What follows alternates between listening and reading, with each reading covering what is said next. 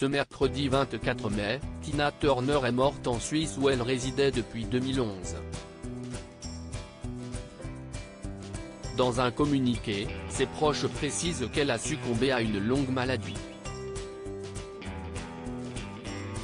Une mort paisible, entourée de sa famille, à l'âge de 83 ans. Avec 200 millions d'albums vendus, elle était l'une des artistes les plus populaires au monde. Ces tubes sont incontournables. Avec elle, le monde perd une légende de la musique et un modèle, précise le communiqué au sujet de la chanteuse qui affichait 50 ans de carrière et 11 Grammy Awards à son actif. En 2013, Tina Turner avait souffert d'un AVC avant d'être atteinte d'un cancer de l'intestin trois ans plus tard, qu'elle n'ait pas voulu soigner avec un traitement de chimiothérapie. Elle avait alors adopté un traitement homéopathique puis elle avait souffert d'une insuffisance rénale. En 2018, dans son livre intitulé My Love Story, Tina Turner évoquait cette insuffisance rénale.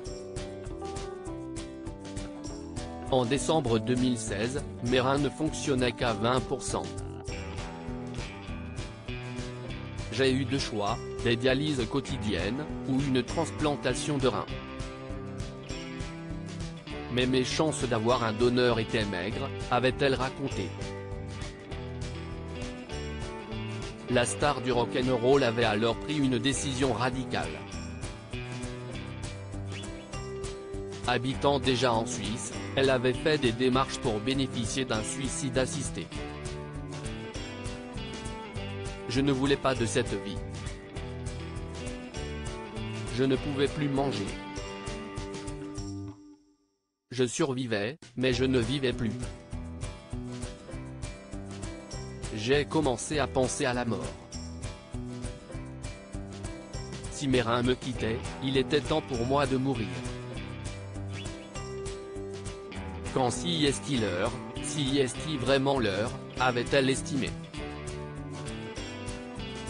geste d'amour qui lui a sauvé la vie en 2018 marié en 2013 à Erwin Bach, un producteur allemand, Tina Turner l'avait rencontré au sein de sa maison de disques.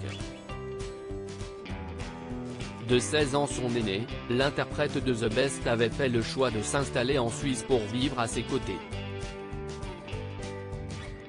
Quant à lui, il lui a offert un rein. La chanteuse a subi une greffe de rein en avril 2018. Il m'a dit qu'il ne voulait pas d'autre femme que moi, d'une autre vie. Il m'a surprise. Il m'a dit qu'il voulait me donner l'un de ses reins, avait-elle révélé dans son livre.